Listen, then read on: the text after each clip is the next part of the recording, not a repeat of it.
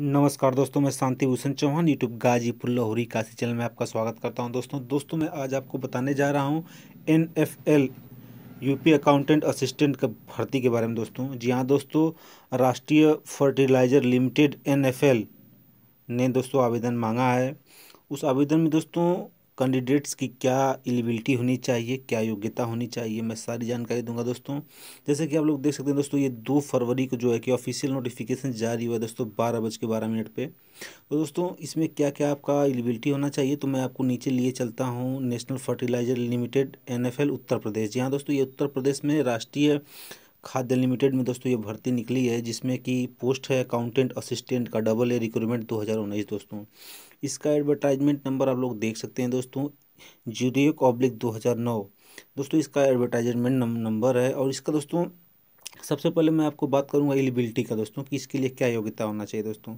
सबसे पहले दोस्तों, इसके लिए योग्यता आपको बैचलर डिग्री इन कॉमर्स यानी दोस्तों आप बी काम किए हों बी काम करने में दोस्तों, और जो है कि उसमें अगर जनरल और ओबीसी के आप कैंडिडेट्स हैं दोस्तों तो आपको फिफ्टी परसेंट मार्क्स लाना ज़रूरी होगा। यानी कि पचास परसेंट मार्क के साथ आप जो है कि बी कॉम डिग्री आप पास हो। यानी कि जो बैचलर इन कॉमर्स किए हैं, स्नातक कॉमर्स में स्नातक किए हैं दोस्तों आप लोग, और जनरल ओबीसी के लिए तो उसमें पचास परसेंट जो है कि पास होना ज़रूरी यानी कि अपने सर्टिफिकेट में फिफ्टी परसेंट मार्क्स हर सब्जेक्ट में दोस्तों आपका होना चाहिए टोटल मिलाएगा फिफ्टी परसेंट होना चाहिए।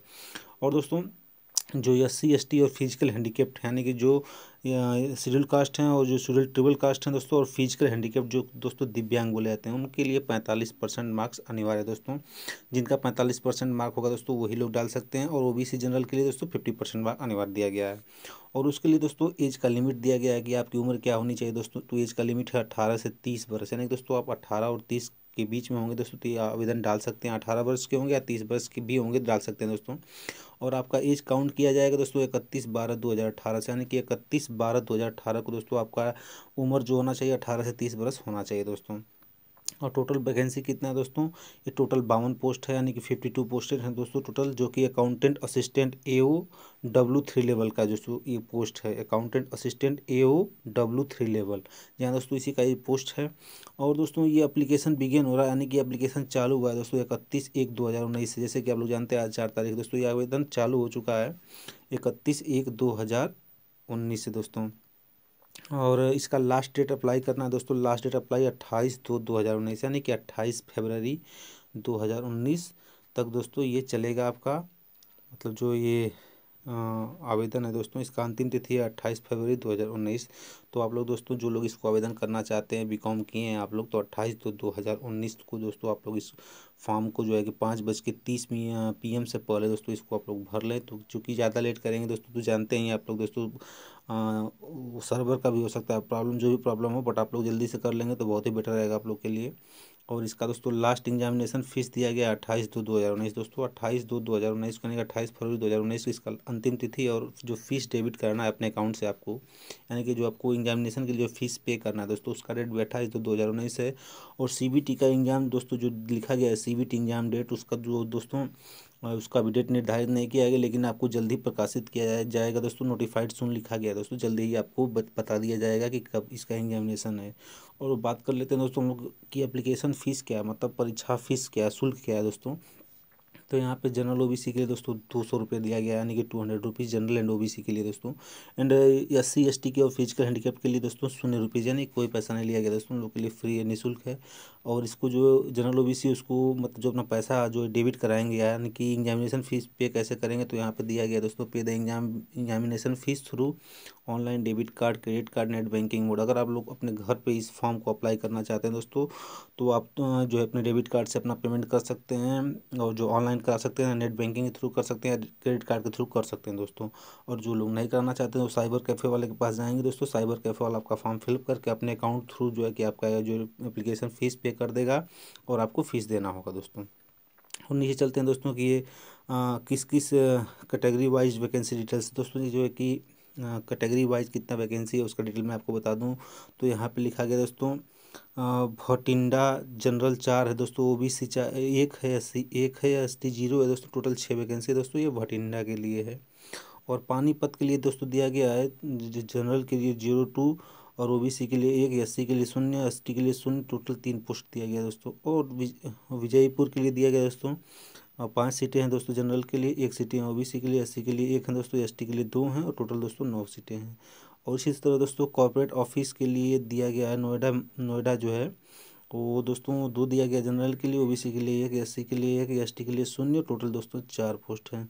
और नोएडा ये दोस्तों नीचे लिखा गया दोस्तों मार्केटिंग के लिए दिया गया दोस्तों, इसमें दिया गया दोस्तों जनरल के लिए पंद्रह है और ओबीसी के लिए नौ है एससी के लिए चार है एसटी के लिए दो टोटल तीस सीटें दोस्तों, इस सबको ये सब इंक्लूड करके दोस्तों ये सबको आप जोड़ देंगे टोटल बावन सीटें होती हैं दोस्तों। जो इस यूनिट की यूनिट में जो ये भर्तियाँ होंगी दोस्तों यूनिट का नाम दिया था Bathinda Panipat Vijaypur corporate office Noida marketing ऐसे करके जो है इसका। दोस्तों, ये बावन पोस्ट इसी के लिए बनाया गया दोस्तों, इसी में भर्ती होगी आप लोग की। तो अब लेके चलते हैं कि अप्लाई ऑनलाइन जैसे दोस्तों आप लोग देख सकते हैं, यहाँ पे अप्लाई ऑनलाइन दिखा गया है। ये सरकारी रिज़ल्ट का जो साइट है तो आप लोग अगर डायरेक्टली आप लोग ऑफिशियल वेबसाइट पे जाना चाहते हैं तो आप नीचे से डायरेक्टली ऑफिशियल वेबसाइट पे यहाँ से क्लिक करके जा सकते हैं। अगर नहीं जाना चाहते हैं दोस्तों, अगर अप्लाई ऑनलाइन करना चाहते हैं तो सबसे पहले आपको करना होगा यहाँ से रजिस्ट्रेशन रजिस्ट्रेशन करने के लिए आपको क्लिक करना होगा। इसे मैं क्लिक करके दिखा रहा हूँ आपको। जैसे खुल रहा है दोस्तों, यहाँ पे आप, यहाँ पे देख सकते हैं एनएफएल दिया गया है नेशनल फर्टिलाइज़र लिमिटेड दोस्तों, आप लोग को यहाँ पे यूनिट ऑफ़िस का नाम लिखना है यहाँ पे। आप सेलेक्ट कर लेना दोस्तों, कहाँ भरना है आपको? पानीपत, भटिंडा, विजयपुर, जहाँ भी भरना हो आपको। जैसे मान लीजिए मुझको भटिंडा पर करना है दोस्तों, ऐसे करके यहाँ पे अपना फुल नेम लिखना है दोस्तों फुल नाम जो भी हो आपका तो लिख लीजिएगा दोस्तों। उसके बाद यहाँ फादर नेम होगा दोस्तों मदर नेम होगा मोबाइल नंबर होगा दोस्तों ईमेल एड्रेस होगा confirm address Aadhaar card number होगा दोस्तों। और यहाँ पर कैटेगरी डाल दीजिएगा, कौन सी कैटेगरी की ओ बी सी जैसे भी दोस्तों। और यहाँ पर दोस्तों पर्सन विथ डिसेबिलिटी अगर आप जो फ़िज़िकल हैंडीकेप्ट हैं तो यस या नो में डाल दीजिएगा दोस्तों। परसेंटेज डाल दीजिएगा कितने परसेंट आप फ़िज़िकल हैंडीकेप्ट हैं कितने परसेंटेज आप जो है कि विकलांग वो डाल दीजिएगा दोस्तों, दिव्यांग है। यहाँ पे भी डाल दीजिएगा दोस्तों कैटेगरी किस कैटेगरी में आते हैं, जैसे कि यहाँ पे जो किसमें है कि आप जो विजुअल इम्पायर्ड हैं, या हियरिंग सुनने में प्रॉब्लम है दोस्तों की देखने में प्रॉब्लम है, जो भी प्रॉब्लम दोस्तों, इसमें दिया गया है, आप सेलेक्ट कर लीजिएगा। और यहाँ पे दिख गया है कि दोस्तों आर यू एक सर्विसमैन क्या आप सर्विसमैन पर्सनल हैं तो यस अगर होंगे तो यस कर देंगे, नहीं होंगे तो नो कर देंगे। दोस्तों, अगर होंगे तो कितना साल का एक्सपीरियंस है तो सर्विस किए हैं तो यहाँ पर टोटल सर्विस का वो डालना है दोस्तों। उसके बाद dependent to kill the discipline of action अगर किसी युद्ध में कोई मारा गया दोस्तों तो उसका भी जो है कि यस और नो पे देना है, और यहाँ पे डिपार्टमेंटल कैंडिडेट के लिए यस और नो देना है। कि आप एन में डिपार्टमेंटल कैंडिडेट है तो यस और नो डाल सकते हैं दोस्तों।